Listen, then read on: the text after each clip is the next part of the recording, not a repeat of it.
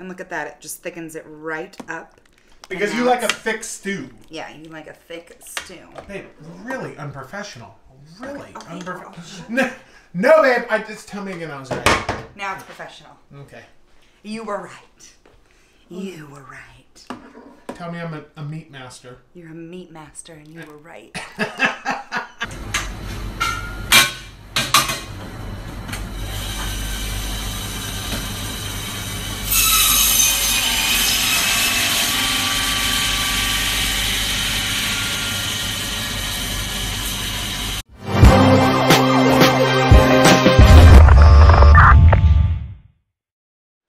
Hello and welcome back to the channel. Okay, so today we're inside using our favorite kitchen device, the Ninja Foodi. Not only does the Ninja Foodi do a crock pot, air fryer, pressure cooker, sear mode, it does a ton of stuff.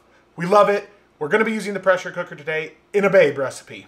Yes, so the weather is changing, it's getting colder, and that calls for soups and stews. Soups and stews. That's right. Today we're gonna make a beef stew recipe with some really delicious meat and bone filet, Uh, it's tenderloin chunks. tenderloin chunks. We'll show you in a minute when we get to the ingredients, but meatandbone.com, use code COP and BABE for a discount. We love buying their little packages and it's already pre-cubed up tenderloins. It's like a filet basically. Super tender, great quality meat. And then we have some leftover brisket too. So we're gonna be doing brisket, some of the tenderloin, a bunch of veggies. I think you wanna do green beans in it. some green All kinds in of it. stuff. A little red wine, pressure cook, 20 minutes, super quick, easy, Deliciousness. weeknight meal. So, all right, babe, are you ready? I'm ready. All right, and here we go. Okay, so the Ninja Foodi's out and ready to go. We're gonna use the pressure cooker setting. Pressure cooker setting. There is an extra lid that you need to use with your Ninja Foodi pressure cooker. And then our ingredients. So I have my meat and bone tenderloin, and as you can see, these are big chunks. So I'm gonna go ahead and just cut them in half. I have my leftover brisket. Um, link above. You can check out the video on how we made this. I'm using fresh rosemary dried thyme, a couple of bay leaves, a little parsley, some tomato paste, beef stock, salt, pepper, really expensive, good, good cab. Just joking. This is two buck chuck. So some wine for flavor. We're using uh, Yukon Gold potatoes. I used about five of them. I have a yellow onion, a whole yellow onion, some green beans, four garlic cloves, some baby carrots, and then I need flour to and olive oil because I'm gonna sear my meat off before we start. Okay, babe. Are you Sounds ready? good. Let's do it. Let's do it. Okay, so I have my sear saute mode on. We are going to warm that up on high, and then I'm going to sear off my meat uh, with a little flour on it, some olive oil, salt and pepper, garlic, all that good stuff. That's how we're going to start it. So I opened up my package of meat, and I just kind of wanted to show you. They're pretty good sized chunks. So not all of them, but some of them I'm just going to halve them. So I put my stew, uh, my non-cooked, my raw meat in here in this bag, and I'm going to put a tablespoon of flour. And then I'm going to put some salt and pepper in there. And this is before we sear it.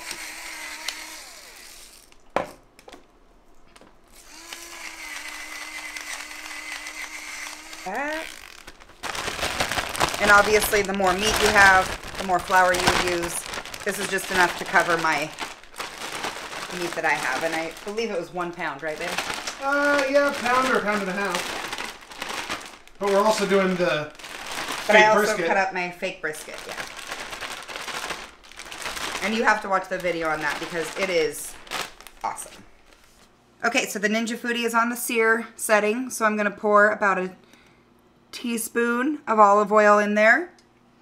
We're going to let that heat up. I'm going to dump my meat in, sear my meat, and then we're going to add in our garlic.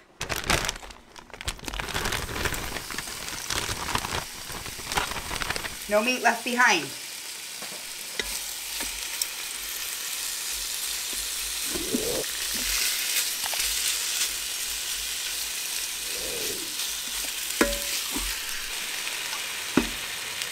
Okay, next up we're gonna do our garlic. I'm gonna do four cloves. And this Zyliss is fantastic. Can find it below. It's our favorite. It's so easy. You actually don't even have to peel the garlic if you don't want to. So we're just gonna get that garlic in there. Saute that up. The meat's looking good. Okay, so I turned off the sear setting. So the Ninja Foodi is currently off, and I'm gonna add in all of my other ingredients. Okay, we have the rest of our beef brisket, our carrots. I used one full bag of baby carrots. I used about five medium-sized Yukon Gold potatoes, one whole yellow onion, and I had some green beans that needed to be used, so why not?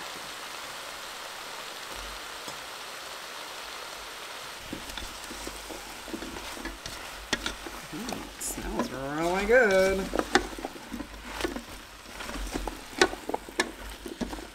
Okay, I'm to do about one and a half tablespoons of tomato paste. We're going to do a teaspoon of thyme.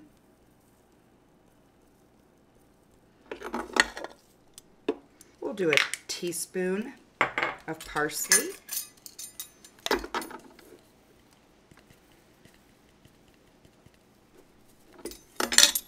Let's do three basil, four basil leaves. Bay I mean, four bay leaves. I'm sorry. Basil let's leaves? Do, let's do four bay leaves. What's that, these. These are so cool. We got these for our wedding. What is that doing, babe? This is an electric Pepper grinder. electric salt and pepper grinders. so you're putting more black pepper in? Yeah. I'm probably gonna do like two tablespoons of black pepper. Now salt. Yes, and about a tablespoon of salt. We're gonna do four cups of beef stock. And if I need to add a little bit more, I'll know. You just want it to come above all of the food, all the veggies and the meat. I added a lot of veggies because I really like the veggies. It's all gonna cook down. Mmm, perfect. I'm surprised you don't need more tomato paste than that, babe. Yeah, you don't want to have it too tomatoey. Two cups of red wine. Oh, Do I have to drink the rest of that? Okay, And now we give it a mega mix. now we give it a mix, and then we are going to cook and see what happens. Stew's really easy. I literally just kind of made this up and took some seasonings from other people and some ideas and just made a stew of my own. And you know what? It's going to be phenomenal. Cornstarch or flour helps thicken it up, so I'm going to add a little bit in there.